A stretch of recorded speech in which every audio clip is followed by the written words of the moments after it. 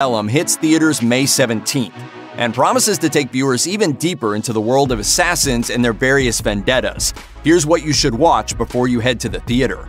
There's a lot of great dialogue in the first John Wick film, but we all know which one is the true money line. People keep asking if I'm back, and I haven't really had an answer. But now, yeah, I'm thinking I'm back. It's as much a statement about the character of John Wick as it is a battle cry for Keanu Reeves, the actor. Reeves had a string of hits in the 90s, including a little movie you might have heard of called The Matrix. But then came the sequels. After their mixed reception, it seemed like Keanu's star was finally descending. He continued to work on smaller films and passion projects, but he didn't truly rise to prominence again until 2014, when he donned a suit and dug up a lockbox full of guns and gold coins in John Wick. Reeves was back in the spotlight with plenty of momentum, and will even be returning to his first iconic role in the long-awaited Bill and Ted Face the Music, alongside Alex Winter. Yes, we're thinking he's back. The first entry in the John Wick franchise is incredibly straightforward. For those who haven't seen it, spoiler alert. A man named John Wick, who has recently lost his wife, learns that she had adopted a puppy for him. He takes the puppy in and loves it with all of his heart for a single day, but after a chance run in with the dirtbag son of a mob boss, things go wrong. That dirtbag son decides he wants John's car, so he goes and takes it, and in the process, he kills John's dog. This is a big mistake. May I ask why? Yeah, well, because he stole John Wick's car, sir, and uh, killed his dog. Turns out, John is a retired assassin who was so good at his job that he's essentially the boogeyman for other hired killers and he's mad enough about his dead doggy to get back in the game and destroy everything in his path until he gets his revenge. It's a simple story, but it's told incredibly well. Smash cut to John Wick Chapter 2, and we learn a lot more about the secretive world of assassins. This globe-trotting adventure introduces a high council of assassins and criminal masterminds, some of whom have unfinished business with John Wick himself. Enter Santino D'Antonio, who has a favor to call in. Sei qui per il Santo Padre? No.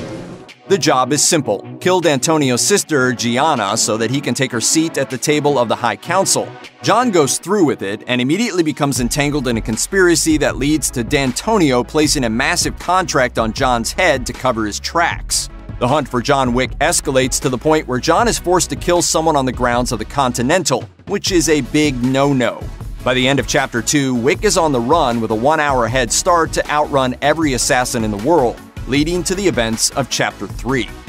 As much as we love the specially minted gold coins used by the killers in John Wick's world, there's another currency that's just as important blood markers.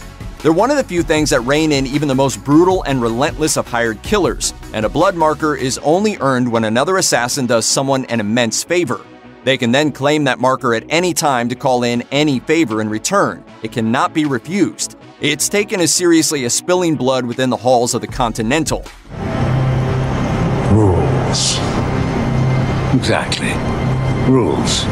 The reason John had to take the job to kill a member of the High Table was a marker held by Santino D'Antonio, one that he earned by helping John get out of the assassin's life and go live his fairy tale existence with his wife in peace before the events of the first film. By the end of Chapter 2, as John Wick goes to take his head start in escaping with an open contract for $14 million on his head, Winston gives him a blood marker which may act as his only lifeline now that he's been made excommunicado from the League of Assassins.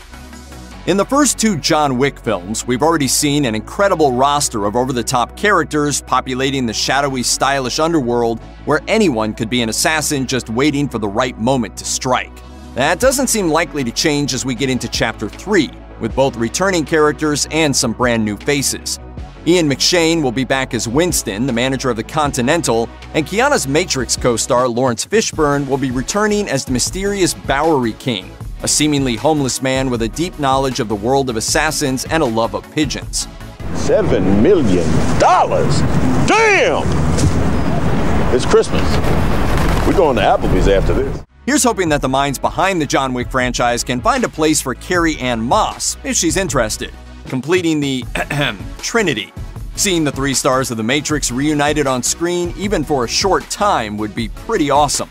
As for the new characters, Parabellum has upped the ante with an impressive roster of stars. Halle Berry will appear as Sophia, a former accomplice of John's who wields two pistols and two dogs, while Anjelica Huston joins up as the severe calculating director.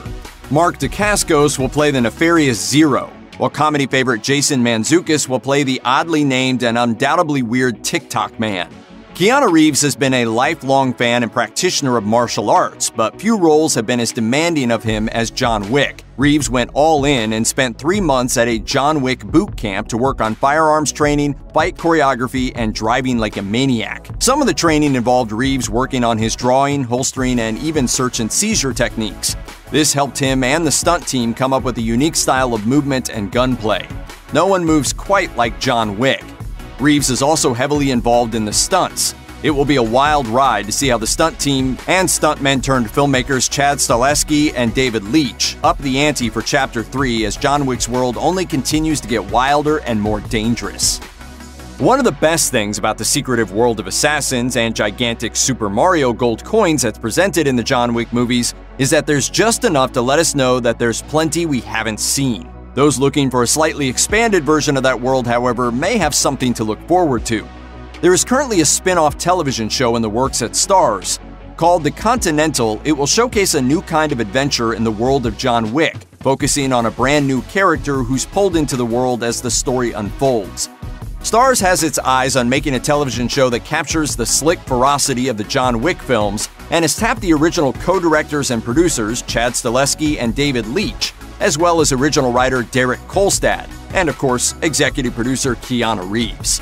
Check out one of our newest videos right here. Plus, even more Looper videos about your favorite obsessions are coming soon. Subscribe to our YouTube channel and hit the bell so you don't miss a single one.